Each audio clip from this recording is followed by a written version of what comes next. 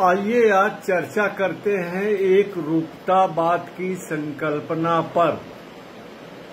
Today let us talk about the concept of uniformitarianism तो एक रूपता का, बात का जो सिद्धांत या संकल्पना है, वर्तमान समय में, उसका स्वरूप इस प्रकार है। The all the physical processes and laws that operate today operated throughout geological time not necessarily with the same intensity as now वर्तमान समय में जो भी भौतिक प्रक्रम और नियम कार्यरत हैं वो पृथ्वी के विगत भौगर्भिक इतिहास में भी सक्रिय थे, कार्यरत थे, परंतु उनकी सक्रियता इंटेंसिटी तीव्रता एक समान समरूप नहीं थी। उनमें विभिन्नता थी। ये है वर्तमान संकल्पना। इस संकल्पना का सूत्रपात प्रतिपादन यद्यपि बदले हुए रूप में सर्वप्रथम 1785 1785 में स्कॉटिश जियोलॉजिस्ट जेम्स हटन ने की थी। जेम्स हटन वर्तमान यूके के स्कॉटलैंड के एक प्रसिद्ध भौमिकीविद भूगर्भ शास्त्री जियोलॉजिस्ट थे। उनकी संकल्पना जरा पहले व्यक्त गई, व्यक्त की गई संकल्पना से थोड़ा भिन्न है। जेम्स हटन के अनुसार all the physical processes and laws that operate today operated throughout geological time with the same intensity as now यानी जेम्स हटन की मान्यता थी जो भी भौतिक प्रक्रम जैसे अनाच्छादन की क्रियाएँ हैं, अपर्दन है इरोजन है डिपोजिशन है, उत्थान है अपलिफ्टमेंट है, अवतलन है सब्सिडेंस है वल्केनिसिटी है, ज्वालामुखी क्रिया है टेक्टोनिक एक्टिविटीज़ है, इत्यादि। जो आज कार्यरत है उसी रूप में पृथ्वी के विगत भौगर्भिक जियोलॉजिकल हिस्ट्री में भी कार्यरत थे और उनके कार्य करने की तीव्रता इंटेंसिटी गहनता एक समान थी। यही अंतर है। वास्तविक इस समय का की संकल्पना कहती है कि उनके तीव्रता में विभिन्न कालों में अंतर था। और हटन महोदय कहते हैं, एक जैसा था। ये कमी जो है जेम्स हटन के सिद्धांत में थी।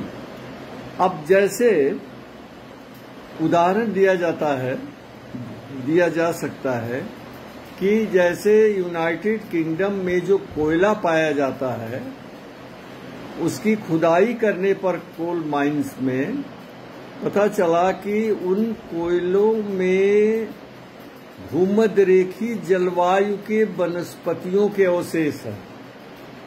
It means there would have been a time when United Kingdom was closer to equator एक समय ऐसा रहा होगा जबकि वर्तमान यूनाइटेड किंगडम भूमध्य रेखा के पास रहा होगा इसी तरह देखिए, भारतीय राज ओडिशा के तालचीर कोल माइन में, कोयले के नीचे ग्लेशियर बोल्डर्स के जमाव मिले हिमानी गोलाश्म के बोल्डर्स के। इससे प्रमाणित होता है कि एक समय ऐसा रहा होगा जबकि प्रायद्वीपी भारत का व्यापक हिमानीकरण वाइड स्प्रेड ग्लेशिएशन हुआ होगा, और इसका प्रमाण भी है करबानी फरस पीरियड में peninsular India was largely glaciated और इसी तरह देखिए, इसके भी प्रमाण होते हैं कि सभी प्रक्रम हर काल में एक समान कार्यरत नहीं थे। जैसे कर्बानी फरस पीरियड और प्लास्टोसिन पीरियड में हिमानी ग्लेशियल प्रोसेस ज़्यादा सक्रिय था, ज़्यादा वाइड स्प्रेड था, जबकि वर्तमान समय में वह उतना सक्रिय नहीं है। तो जेम्स सटन को क्रेडिट तो जाती है कि यूनिफॉर्मिटेरियनिज्म का, की संकल्पना का प्रतिपादन किया। और उनके दो शिष्य थे, एक जॉन प्लेफेयर और एक चार्ल्स लेल। इन दोनों शिष्यों ने जेम्स सटन के विचारों में थोड़ा परिवर्तन करके, परिमार्जन करके, मॉडिफिकेशन बना करके उसको सशक्त रूप में प्रचारित किया।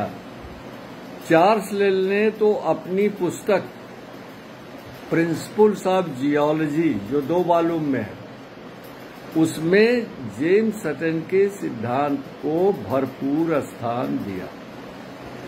अब जेम्स हटन का ये जो की संकल्पना है यूनिफॉर्मिटेरियनिज्म की, वह जियोलॉजी के दो नियमों पर आधारित है। The concept of uniformitarianism of James Sutton is based on two principles of geology one present is key to the past वर्तमान भूत की कुंजी है। नंबर दो no vestiges of a beginning no prospect of an end मतलब ये भूआकृतिक प्रक्रम कब कर, काम करना प्रारंभ किए? इसका कोई ज्ञान नहीं है, पता नहीं है।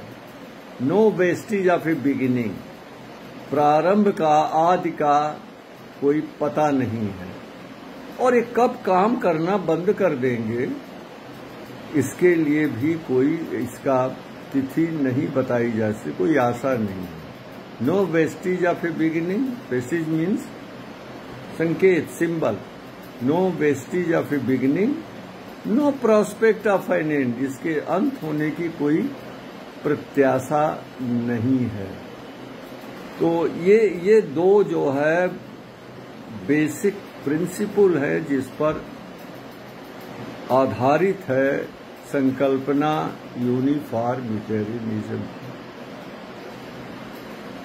present is key to the past का मतलब क्या हुआ कि जिस समय हम देख रहे हैं कि नदी किस तरह से अपर्दन करती है, कैसे परिवहन करती है इरोडेड मटेरियल्स का, कैसे उनका यथास्थान डिपोजिशन करती है, कैसे वो विभिन्न तरह के स्थलाकृतियों का निर्माण करती है, प्रारंभ भूतकाल में भी ऐसे ही किया होगा। इसी तरह हिमानी यानी कि हर प्रक्रम का जो है तो हम आज जिनको हम जान रहे हैं हम प, हम पहले को भी उसको जान सकते हैं वर्तमान के आधार। फिर जेम्स हटन ने ये भी प्रतिपादित किया कि earth is orderly and acts works in a cyclic manner यानी पृथ्वी चक्रीय रूप में पृथ्वी पर जो भी क्रियाएँ, घटनाएँ होती हैं, चक्रीय रूप में संपादित होती हैं। तो हटन महोदय पहले व्यक्ति थे, जिन्होंने प्रतिपादित किया था, cyclic nature of the earth history. पृथ्वी के चक्रीय इतिहास पर मत व्यक्त किया सर्वप्रथम। जेम्स हटन ने। अर्थात पृथ्वी का की जो भौगर्भिक घटनाएँ होती हैं, वो चक्रीय रूप में होती हैं। जैसे पर्वतीकरण की क्रिया देखिए आप तो कितनी चार चार, पाँच जो है पर्वतीकरण की प्रक्रियाएँ अब तक हो चुकी हैं। किसी भी स्थान को आप देखें, वहाँ पर अपर्दन चक्र की कई क्रियाएँ पूरी हो चुकी हैं। जैसे प्रायद्वीपी भारत को ले लें आप यहाँ पर देखिए Dharwarian landscape cycle Cuddapah landscape cycle Vindhyan landscape cycle Cambrian landscape cycle Jurassic ये सेनोजोइक लैंडस्केप साइकिल इत्यादि इतने जो है अपर, अपर्दन चक्र की स्थलाकृतिक विकास की क्रियाएँ चक्र पूरे हो चुके हैं। और जब किसी भी एक स्थान में एक से अधिक अपर्दन चक्र की घटनाएँ पूर्ण हो जाती हैं तो उससे जो स्थलाकृति वहाँ की होती है दैट बिकम्स वेरी कॉम्प्लेक्स वो बहुत जटिल हो जाती है। और ऐसी स्थलाकृति जहाँ पर बार बार अपर्दन चक्र की घटनाएँ घटी हों, ऐसे क्षेत्र की स्थलाकृति को कहते हैं पॉलिम्पसिस्ट टोपोग्राफी यानी पॉलिम्पसिस्ट उस पांडुलिपि, हस्तलिपि को कहते हैं, जो बार बार लिखी और मिटाई जाती है। जैसे आप जो है कागज़ ले लें, पेंसिल ले लें, और पेंसिल से पेपर पर कागज़ पर लिखें, फिर उसको रबर से मिटा दें, पूरा नहीं मिटेगा, कुछ न कुछ अवशेष रह जाएगा। उसके बाद फिर पेंसिल से उस पर लिखा तो पहले वाला अवशेष भाग भी कुछ न कुछ दृष्टिगत होगा। फिर इसको मिटा दें, फिर लिखें फिर मिटा दें। तो जितनी बार मिटाते जाएँगे, उतना पहले वाला जो लिखावट है, वो ज़्यादा मिटती जाएगी। और जो एकदम लेटेस्ट होगी, वो ज़्यादा दृष्टिगत होती है। तो ऐसी हस्तलिपि को, पांडुलिपि को कहते हैं पालिमसिस्ट मैन्यूस्क्रिप्ट इसी को अप्लाई किया गया है प्रकृति के क्षेत्र में, स्थलाकृतियों के क्षेत्र में। जहाँ पर एक से अधिक अपर्दन चक्र की घटनाएँ पूरी हो चुकी हैं, वहाँ की स्थलाकृति जो है, वो काफ़ी जटिल हो गई है। पालिम से टपोग्राफी ये हो गई है वहाँ की। तो ये है जेम सटन के सिद्धांत के आधार पर आ, ये जो स्थलाकृतियों से संबंधित संकल्पना की विवेचना। नमस्कार।